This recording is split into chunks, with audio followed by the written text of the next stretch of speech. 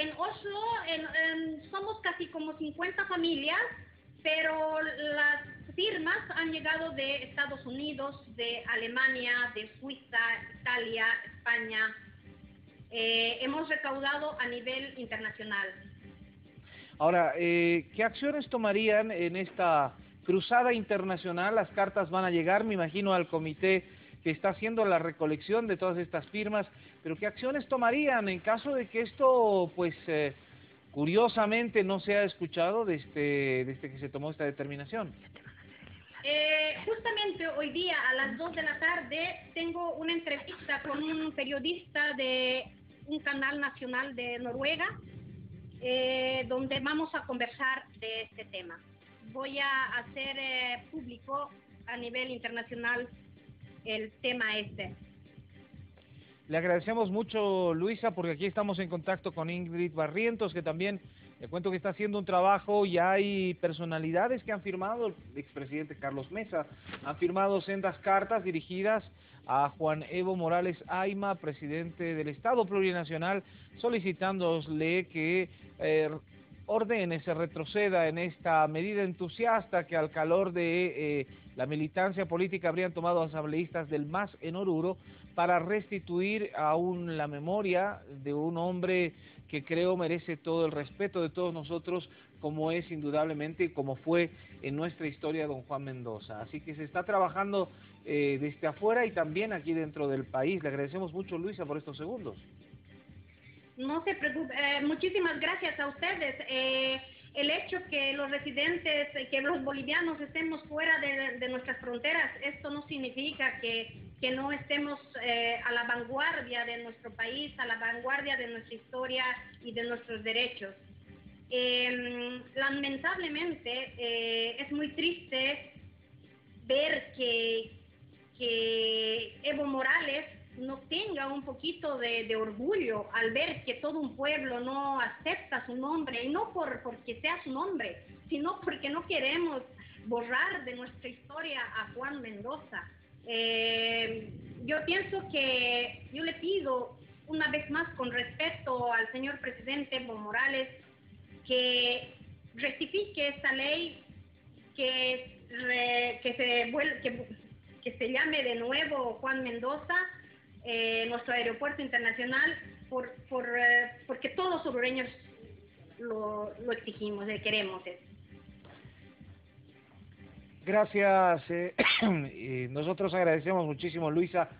Eh, suponiendo que en este instante asambleístas de Oruro nos están viendo y la están viendo ustedes de Noruega, ¿qué le diría usted a los asambleístas que están eh, allí en Oruro siguiendo la señal de cadena Eh, yo veo eh, que como ustedes dicen, tal vez en un momento de, de pasión hacia el partido de los demás han probado, quedar, han querido quedar bien con, Evo Morales.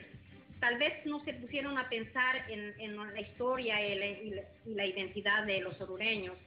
Está en las manos de los señores asambleístas, por favor, les pido que no lleguemos a extremos, no lleguemos a extremos. Estamos eh, todo este, todo este movimiento cívico, estamos pidiendo con respeto, con cartas, hemos mm, hecho una marcha, hemos bloqueado, estamos haciendo de una forma pacífica, estamos pidiendo de una forma pacífica, que no lleguemos a extremos, porque después eh, serán eh, lamentables las, eh, las consecuencias, ya que los señores mineros, los de la FOD, eh, están dispuestos a, llegar hasta, hasta el último, ¿no? Entonces está, yo creo que, que, es hora que ellos se sienten y acepten la decisión del pueblo.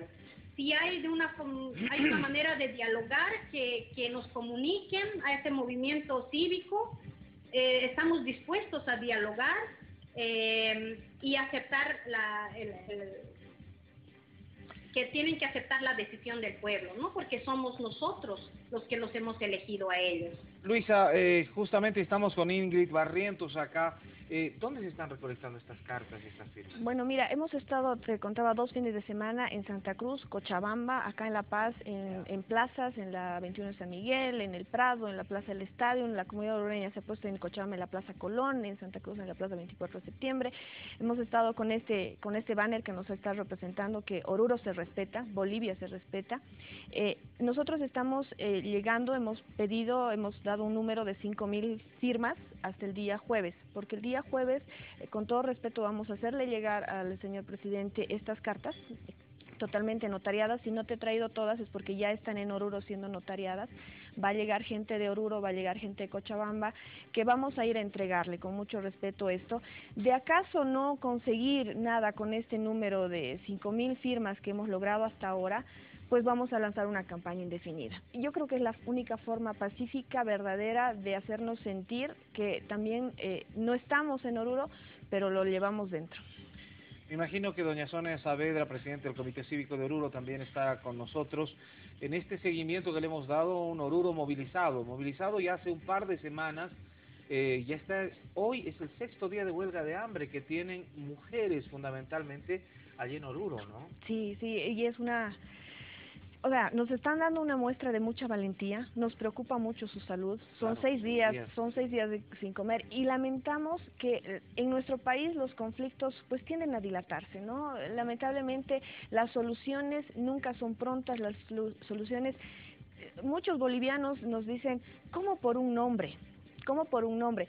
No es un nombre, es la historia. Pero por ser algo así que parece tan insignificante, no entendemos cómo lo han podido volver un problema tan grande o sea, realmente, Esto se solucionaba con un teléfono. Por supuesto, por supuesto, y con un agradecimiento que creo que al final, si bien los, eh, los, eh, los asambleístas eh, correligionarios del presidente querían darle un, un reconocimiento, creo que hay muchas formas de reconocer lo que el señor presidente hace, ¿no? No necesariamente borrar con el codo algo que se ha escrito en piedra, porque es la historia, y, y tratar de rectificarlo, ¿no?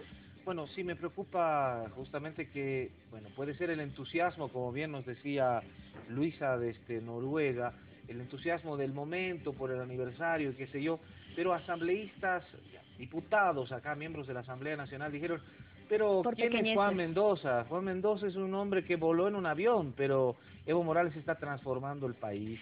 Y eh, creo que esa lectura tan parcial y tan radicalizada no hace otra cosa en lugar de convencer a los orureños, sino los hace, los irrita más. Es lo que mencionabas, ¿no? Hay más papistas que el Papa. Y lamentablemente yo, yo realmente lamento las declaraciones del señor Elío.